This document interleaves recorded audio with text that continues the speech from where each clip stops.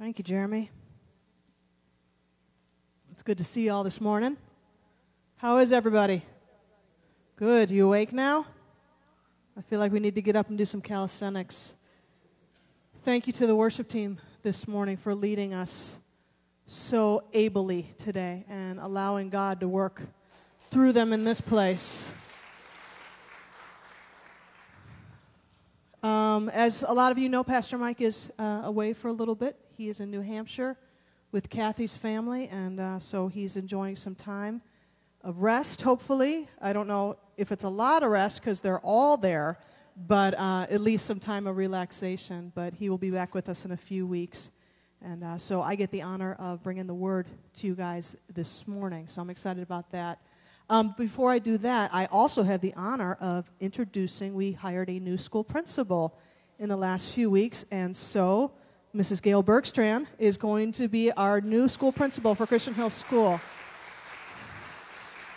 So we are very excited that she is going to be joining us again, and um, Gail was our principal about 10 years ago or so and did a fabulous job. And so we're excited to see the new direction God's going to take the school through her leadership. And uh, so it's going to be good, yeah? Yeah. So, as you guys know, I go through a lot of scriptures. So if you want to grab Bibles, you can. I'll try and keep you up where we are, but um, I'm excited about the message that God has placed on my heart today. Um, we've been doing a series called You Asked for It. I feel like we should do a game show. Ready? Here we go. You asked. Very good, very good. So, Pastor Mike talked about drawing near to God about two weeks ago. And one of the ways you draw near to God is through worship, obviously, which is what we've been doing for the last 45 minutes or so. And we've been connecting with God and allowing God to speak into our hearts and into our minds and hopefully into our lives. And I hope that you guys took the opportunity to just hear from Him. And if you didn't, don't worry, because there's always another chance. I know one thing about God God is always knocking, God is always wanting to speak. And all you have to do is just become open to His, to his voice and to His word. He wants to know you, and He wants you to know Him. And last week we talked about Leviticus, and that was about holiness. And sanctification was the big word of the day. Sanctification means to be set apart. It means we're, we're, we're called to be different. We're called to be unique people in a world of mess. We as Christians get the opportunity as sanctified Christians to be lights in a dark place and to be water in a dry place and to give voice to a place where there's confusion. And so that's what last week was. Well, this week is called You Hungry Yet? We're talking about fasting today. How many of you, I'm afraid to ask with a show of hands, so you guys can keep your hands down, but answer in your own head. How many of you fast on a regular basis? And if you don't, can you answer to yourself real quick, why don't I? Is it because I don't understand it? Is it because I can't eat before 9 o'clock in the morning? I'm a bear? Is it because I have to have my Starbucks coffee and I'm not willing to give it up? Or is it because maybe I just don't really under, get what the power is in when I fast? And so I'm going to try and teach you a little bit of that today. So, Chinese bamboo. Any experts on Chinese bamboo in the room? Anybody? Anybody? No. Okay. So, Chinese bamboo is a very interesting bamboo. You plant it, it sits in the ground, and it appears to not make any changes for about five years. Five years you plant this thing, and you don't see anything. You water it, you nourish it, you talk to it, some of us weird plant people but we and then you don't plant anything else in its place. But for 5 years there's nothing happening in the bamboo world. Then all of a sudden over a 6 week period it grows get this 90 feet in 6 weeks. 5 years nothing. Watering it feeding it nourishing seeing no result. And in 6 weeks 90 feet unbelievable unbelievable what it does. Spiritual transformation in us happens sometimes the same way. We water, we plant, we worship, we listen to podcasts of, of, of preachers. We spend all this time and we go, God, I'm not seeing changes. Nothing's happening, God. What is going on? Why am I bothering doing this?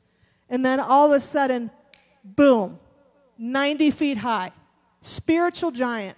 A situation comes into your life, a problem arises, someone needs a prayer, and all of a sudden you go, hey, hold on. Where did that come from? Well, it comes from your years of putting in the work of, of feeding and watering and nourishing. Well, that work stuff is called spiritual disciplines. There's a great book by Richard Foster called Celebration of Discipline. It's one of my favorite books. I try to read it once a year. It's a little bit of a tough read, but highly recommend it. And spiritual disciplines talk about how do I draw nearer to God? What do I need to do to get to that deeper level with God? And fasting is one of those things that you need to do in order to draw to the next level of, of, of closeness to God. It's like working out muscles. You know, how many of us, like, I got a party next Saturday, but I haven't worked out in three weeks. I wonder if I work out every day for the next six days if I'll be able to fit into the dress that I'm supposed to wear. Like that's how we look at working out, right? We, we, we change, we want to have instantaneous results. But that's not the way Christianity works. See, salvation is right away. You, you give your heart to God, and he, he is yours, and you are His, and you become His child. And all of the keys of the kingdom are yours. All the blessings, all the promises are yes and amen. They belong to you from the start. But spiritual growth, the walk, takes work. And it takes time. And it takes discipline. And it takes obedience. And it takes drawing near to God. And it takes sanctification. It takes that being set apart. So fasting is just one of those things that go with that. If you want to look in your Bible, our scripture, our scripture today that we're going to base everything around is Matthew 6. But we're going to kind of be all over the Bible today. Matthew 6, starting at verse 16. And while you're looking there, let me just pray for us. Lord God, I pray today that, Lord, the words that um, come out of my mouth be the words that you want us to hear. God, I pray that you challenge our hearts and our minds and our lives. God, I pray that the things that we learn today become applicable. God, that we become a hungry people after you that are wanting more of you. We give you our hearts today. In your name we pray. Amen. Matthew 6 16 says this When you fast, do not look somber as the hypocrites do, for they disfigure or they contort their faces to show men they are fasting. I tell you the truth, they have received their reward in full. But when you fast, put oil on your head and wash your face. In other words, look good. Comb your hair. Don't look unhealthy. So that it will not be obvious to men that you are fasting, but only to your Father, to Him who is unseen, and your Father who sees what is done in secret. Here's the great part will reward you. So don't worry about what everybody else thinks and knows. You don't have to go around and, Marilyn, I'm fasting. Can you tell? I am so hungry. Why are you so hungry? Well, I'm fasting. Why haven't you combed your hair in three days? Well, I'm starving and I can barely lift my arms up. I'm so hungry because I'm fasting. He doesn't want you to do that. He wants you to go about your normal daily routine and realize that the reward we get is a reward that is a spiritual reward. It's in here. We get to know God more. He speaks to us in those quiet places. So here Jesus tells us why not to fast so that others can see it.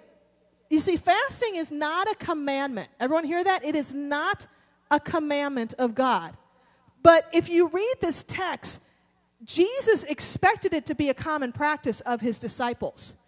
Look at that wording again. It says, not if you fast or you must fast, but the wording is when you fast.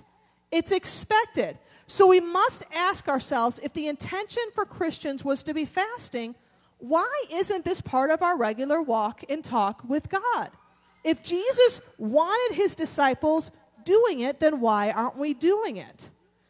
And this is why I think our overabundance masks our spiritual starvation. Let me say that again. Our overabundant mask our spiritual starvation. We have so much of everything, everything, that we are not realizing that we are actually hiding the thing that we need most.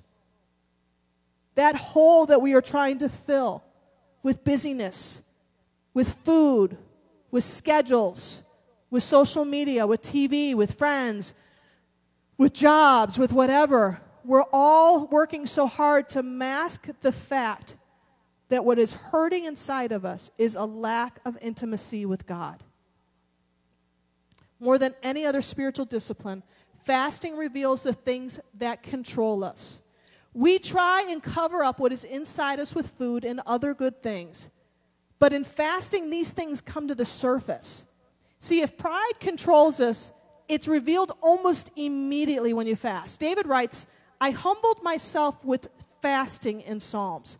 Fasting reminds us that we are sustained by every word that proceeds from the mouth of God. Food does not sustain us, God sustains us. See, it's contrary to what we know on a physical side. You kind of have to release that, that thought pattern for a minute and realize we're talking about something connecting with God in a deeper basis than just our physical need. In many ways, the stomach is like a spoiled child. And a spoiled child does not need indulgence, but needs discipline. We have to learn to discipline ourselves in order sometimes to hear God's voice. Well, I had a little discipline these last few days that I wasn't expecting.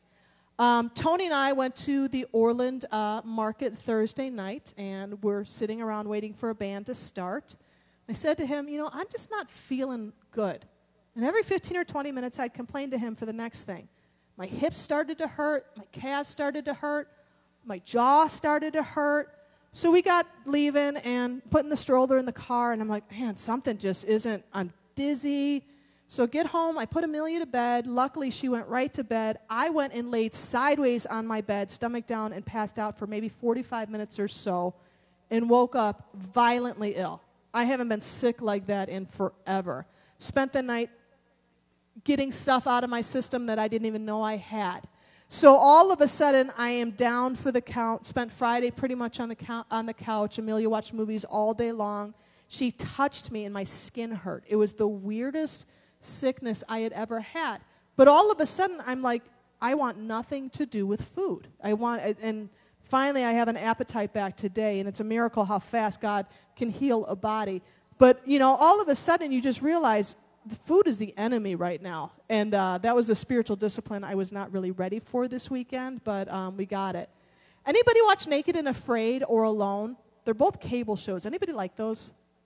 I'm a little addicted to those. I hate to say it. Naked and Afraid is this show that they drop two complete strangers off naked in the middle of nowhere, like Africa, Mongolia, like nowhere. And they have a knife and like a bag, and that's it. And they have 21 days that they have to survive naked and afraid. There's lions that are chasing them, and bears knocking on their shelter, and all this kind of stuff.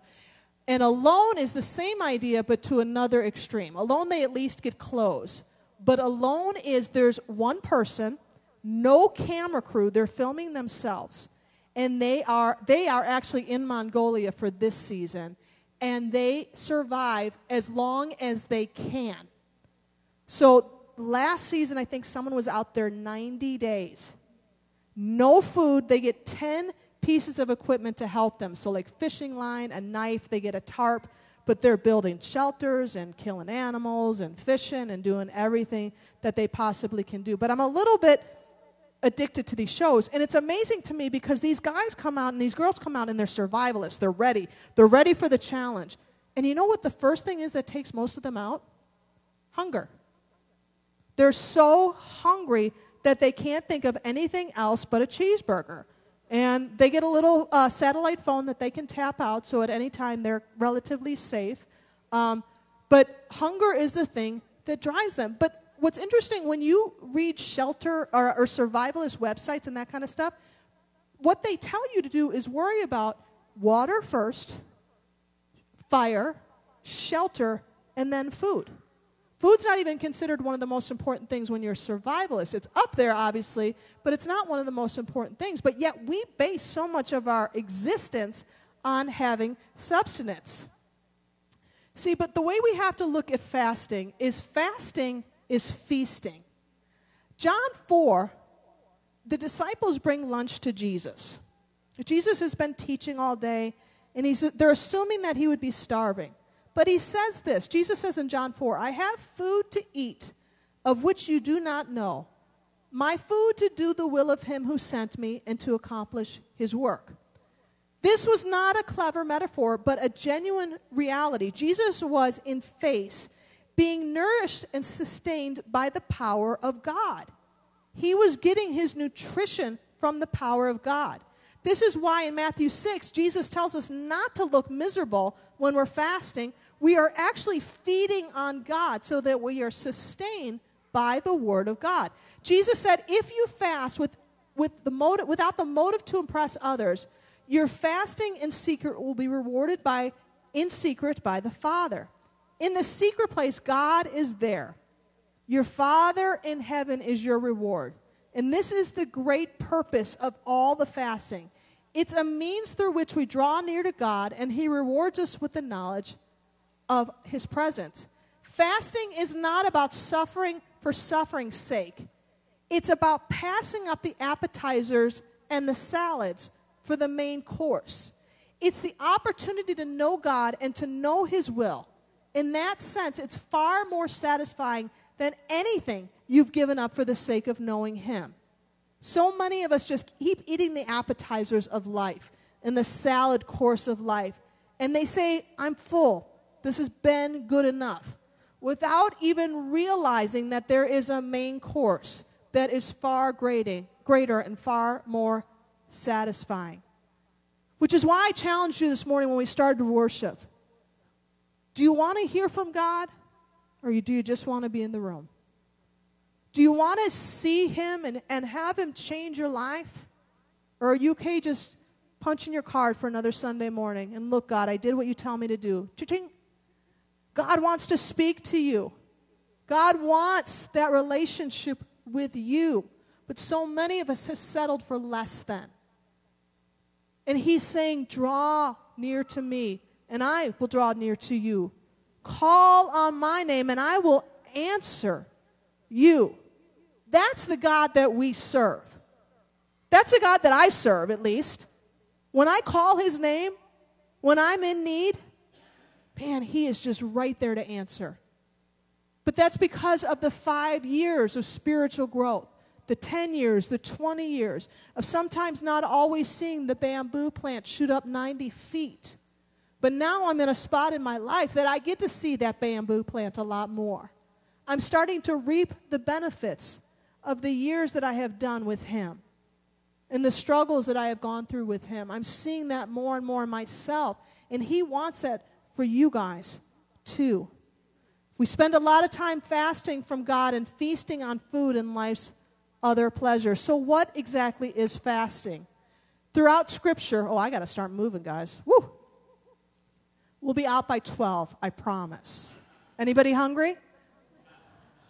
Tony, can you get snacks? See the Cheerios in the nursery for everybody. Anybody hot?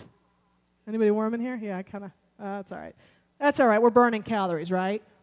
So, so what is fasting exactly? Throughout Scripture, fasting is referred to as the abstaining of food for spiritual purposes. The abstaining of food for spiritual purposes. It's not a hunger strike. Gandhi was not fasting for spiritual God given purposes. It's not a diet plan, even though that can be a benefit. Fasting, if done the way Scripture describes, is a very spiritual practice to aid one's spiritual life. Biblical fasting always centers on spiritual purposes. Let me say that again. Biblical fasting always centers on spiritual purposes.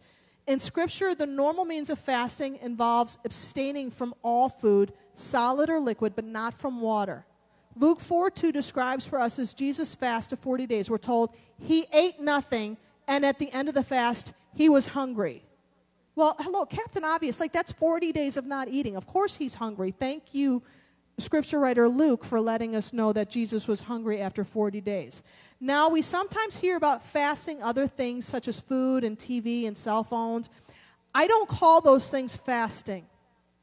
I refer those more to a time of specialized consecration or, or separation or sacrifice something. But when we're talking about biblical fasting, it's actually about food. I was, as I researched this and looked through scriptures, I saw nothing else other than food. Now, there's different food fasts that you can do. There's the Daniel fast, there's the Jesus fast that was the extreme fast. So there's different levels that you can do it. And obviously, if you're interested, always, I have to put this caveat out there check with your doctor first. Make sure that you're healthy enough to do that because medicines and everything else can mess that up. But God's idea of fasting was food. So, why then do we fast?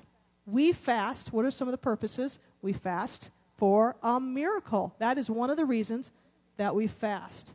Most of the examples of fasting in the Bible, especially in the Old Testament, Old Testament occur in the face of great danger. If you want to turn to Second Chronicles 20, you can real quick. Second Chronicles 20, starting at the beginning of that chapter, it says this. The Moabites and the Ammonites, with some of the Meunites, came to war, wage war against Jehoshaphat. Some people came and told Jehoshaphat, excuse me, a vast army is coming against you from Edom, from the other side of the Dead Sea. That army is already in Tamar.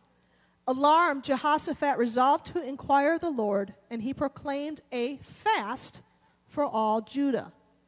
Jehoshaphat needed a miracle. The people of Judah came together to seek help from the Lord. Indeed, they came from every town in Judah to seek him. So Jehoshaphat had an army coming against him. So what he does first is he calls for a fast. If you want to flip to Esther 4. When Queen Esther was made aware of Haman's plot to kill all the Jews, she instructed Mordecai in Esther 4 to do this.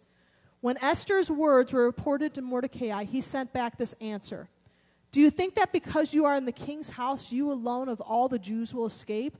For if you remain silent at this time, relief and deliverance for the Jews will arise from another place. But you and your father's family will perish. And who knows but that you have come to your royal position for such a time as this. Then Esther sent this reply to Mordecai Go gather together all the Jews who are in Susa and fast for me. Do not eat or drink for three days, night or day. I and my attendants will fast as you do. When this is done, I will go to the king, even though it is against the law. And if I perish, I perish. So Mordecai went away and carried out all of Esther's instructions. There are times when we realize the only hope that we have is the Lord's favor. We need a miracle. In those times, when you and I need to inquire of the Lord, when we need to ask Him something, when you need that miracle, fasting is one way that actually tunes our attention to God. Fasting is not about getting God's way into our lives, it's not about changing His mind.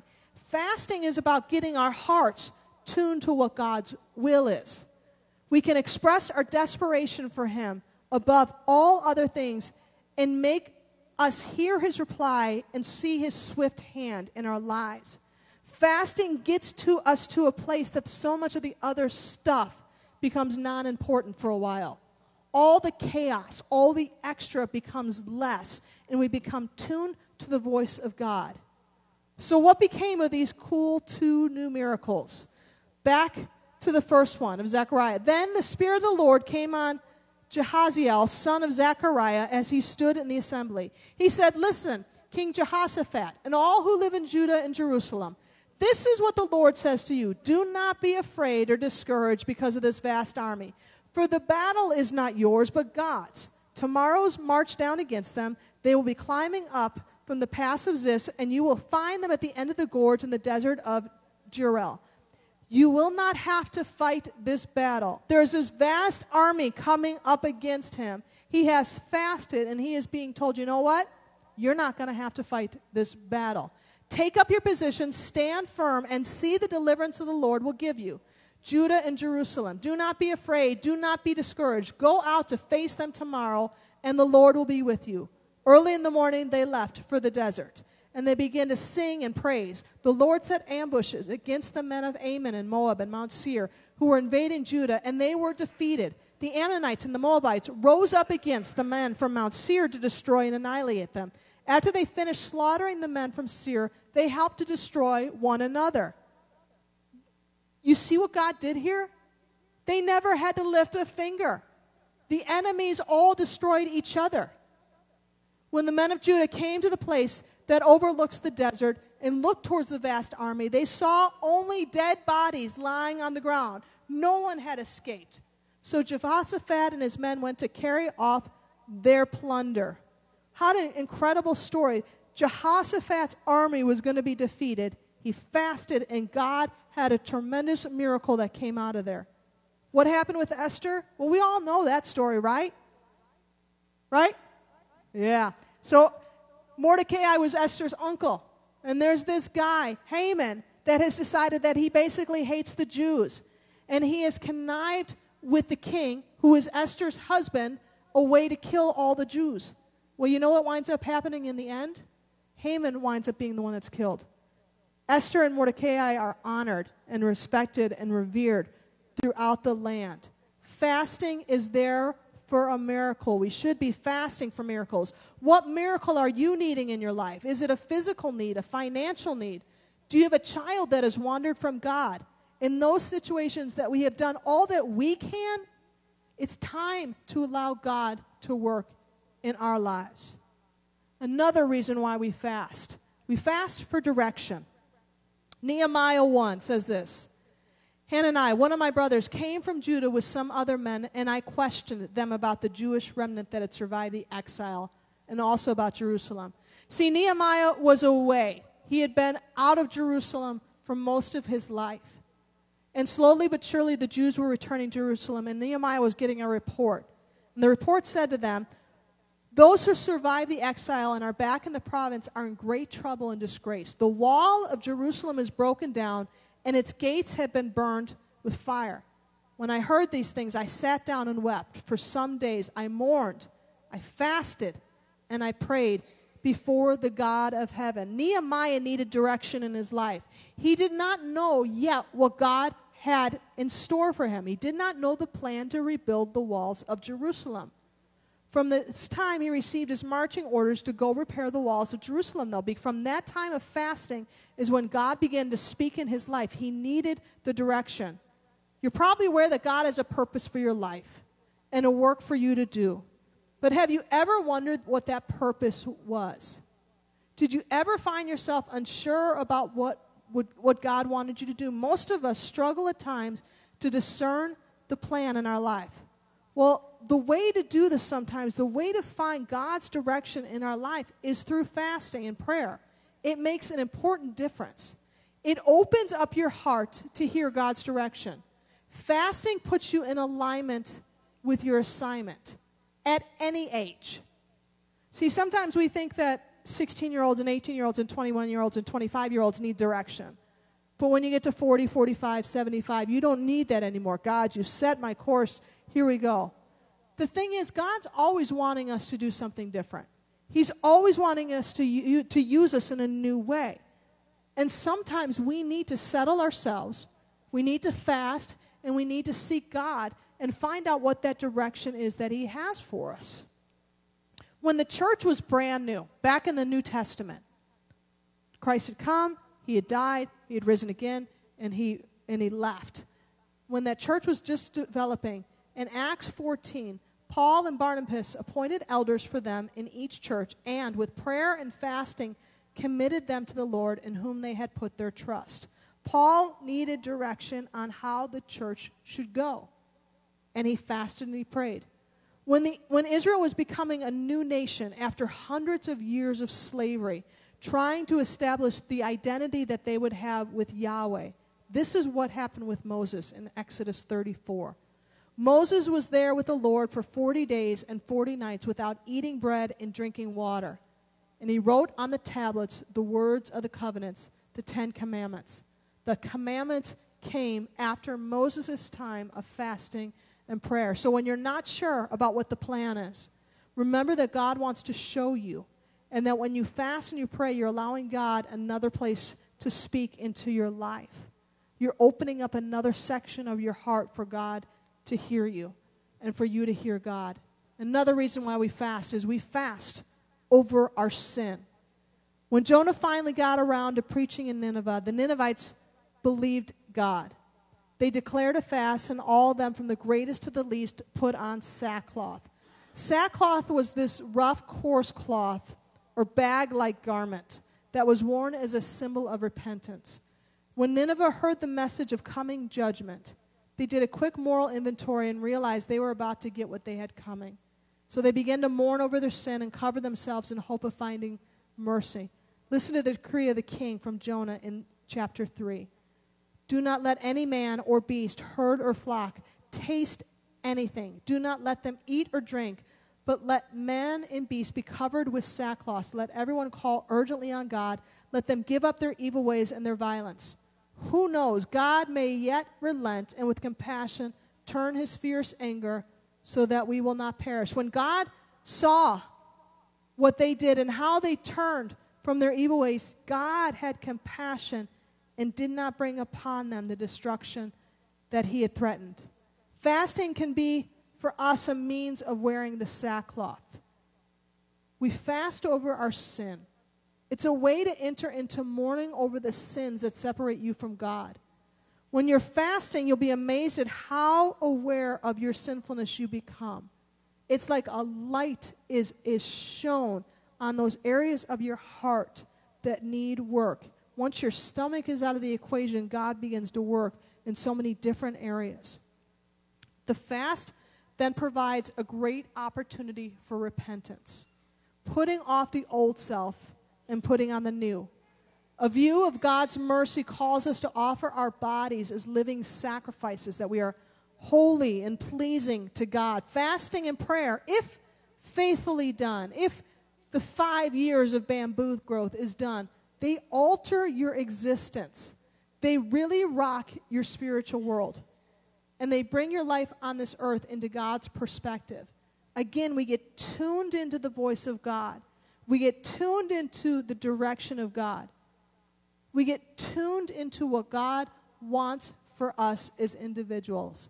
Jeremiah 16 says, My eyes are on all their ways, they are not hidden from me, nor is their sin concealed from my eyes. God sees our sin like a flashing neon sign. And fasting away is a way for us to mourn that, to put on the, the sackcloth, as it says in the Old Testament, and to admit where we are with God and to realize that we have areas in our life that we still struggle with. Does anyone other than myself have areas of your life that you struggle with as Christians? Do you have those areas that God that Satan keeps knocking up on the side of your head because he knows that that's your weakness? Well, fasting is a way to number one get strength through that. But it's also a way to say, God, I need help. I'm not doing well on this on my own. God, like the easy stuff is the easy stuff. I've gotten rid of all that easy stuff that I'm not supposed to do. But the inner stuff is hard. Sometimes we just need to have a time of fasting and admit our sin and let God shine the light, the healing light of His love into those places. And all of a sudden, those chains can be gone. And we can be released from that heavy burden that we carry. I don't want to be a sinner. I don't want to carry the guilt of that. God does not want that for me. And fasting is one of the ways that we can help alleviate that. Our overabundance masks our spiritual starvation. We said this in the beginning. Our overabundance masks our spiritual starvation. So, how long does it take bamboo to grow? Is it five years or is it six weeks? Yeah. How long does it take us to mature as a Christian? Yeah, forever is right. Man, if you guys feel like you've gotten where you need to be and there's nothing else that needs to grow in your life, let me know how you got there. Because uh, this, is, this is how God designed it, though. This isn't a negative thing. This isn't a, a sad thing. This isn't a hard thing. God designed the journey of Christianity to be like this for one reason. And I've said this before when I preached. God could have made salvation, that, that spot of salvation, be the end all. He could have given us everything we needed. He could have cured us from every wrong thing that we had ever done. He could have taken away every temptation that we would ever face in our lives at salvation. Right? I get saved when I'm 20. I'm good for 70 years. Here we go. God didn't design it like that, and you have to wonder why. And I think I know. Because He wants relationship with us, He wants the journey with us, He wants to see the growth. I love seeing the growth in my daughter. I, it brings me to tears sometimes to see the newness in her and see the excitement in her. She started singing in the last month or so. And it's a little bit of a drunken sailor singing, but she's singing. And it's just, I mean, it melts my heart. We have a, a night night song that we do every night, and she just, ah, ah, ah, and uh, it's just beautiful, though. And I love seeing her growth and development. And that's how God looks at us as his children. He loves to see the growth, He loves to see the development. And there's moments where we sway from that path a little bit. And there's moments where He's got to knock us back a little bit and you know, hey, you know, you need a little discipline in this area. But there's also those moments that he pours out his grace and he pours out his mercy in those areas. And I love the fact that he loves us so much. And I love the fact that he's constantly forgiving us so much. So when we fast, we fast to grow closer to him. At the end all, it's to grow closer to him. And so I want to encourage you, if, if, if you've never tried it, Take a look at it. Start small, start with a meal. But if you fast, realize it's not just about giving up food, it's about the replacement. See, I can go, I can skip breakfast and run to work, and it's like, oh, yeah, I fasted today, I forgot. That's not the idea. The idea is I'm giving up my lunch eating and my lunch hour to spend time with God. I'm intentionally filling up what would have normally been this food time with time with Him. And that's what He wants more than anything with His kids. Those of us that are parents, that's what we want more than anything, right? Is this time with our kids. I don't care what I'm doing, right? I love just watching her spin in her circles until she gets dizzy dancing and then falls on the ground. Like, that's exciting for me. But that's what God wants. He just wants time with us. The world around is trying to convince that we have enough if we have big enough houses, a nice enough car, a busy enough schedule, we have enough. But any of those that have tried to find satisfaction in those things know that they just leave us hungry. The only way to fill our appetites is to feast on God, to find out that the manna that He provides is enough to sustain us daily. I love the symbolism that He is the bread of life in this. I love the fact that he uses a food to help us understand that he is our sustainer and he is our provider. Tony, if you don't mind coming up, we're just going to pray, and I'm going to pray over you guys, and we're going to hopefully cool off in a few minutes in our air conditioned cars, right? But I love you guys, and I want you to know more than anything, as a pastor, what my heart is for you guys is to know God more, to know Him deeper, to ache for Him. Take those moments, build into your life a consistency of discipline. Those moments when you're praying, those moments you're fasting, those moments you're worshiping, those moments you're meditating on Him. Purposely build into your lifestyle those things. And then as you're doing it, let your kids see it. Help your kids to develop a love for God beyond, yes, Jesus loves me. Help them to get it so rooted into their hearts that when they are adults, then they pass it on. And so on, and so on. We're at a spot in our world. We're at a spot in our, in our lives that the world is trying to take everything from us. We've become so numb. We've become so unaware of what's happening. And this church is trying so hard to get you to draw closer to God. And I hope that this message this morning is just another encouragement that you just want to go to that next level with Him. And if you want to say in your heart, honestly, hey, Beth, I don't feel it. I don't see it. I don't get it. This whole God thing, I come to church, I'm faithful. I stand in the middle of worship. I don't really sing, but I'm here. And I don't ever get it. I don't get those feelings and that whole thing. You know what you need to do? Is Spend some time with just you and God and let Him know that. And let Him begin to speak to your heart through fasting, through prayer, through worship. You know what? Your relationship with Jesus Christ is not going to develop in this place. It's not going to develop in an hour and a half on Sunday mornings. This is just the plus. This is just the family of God getting to come together and celebrate for an hour and a half every week together. That's what church is the deepness, the trueness, the stuff that lasts in the middle of the storms of your life, when, when the rough stuff comes, that comes in your prayer closet. That comes between you and Him. And I challenge you if you don't have that yet, find it. Talk to one of us. Talk to someone that you see that just loves God and say, How did you get to the spot that you love God so much? Man, I love to talk about him. God is good, isn't he? Amen. Well, let's stand and let's pray. Lord Jesus, we thank you for what you've done for us at the cross.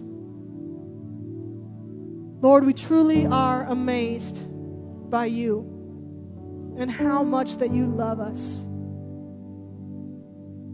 And Lord, I thank you that You've given us these chances, these opportunities, these places in our lives that we can get to know you more. That you don't remain distant, that you don't remain far away, that you don't remain this God sitting on a throne that we don't get to know, but God, that you are so intimate with us, that you speak into our very being, breath. That, Lord, that you want to shine your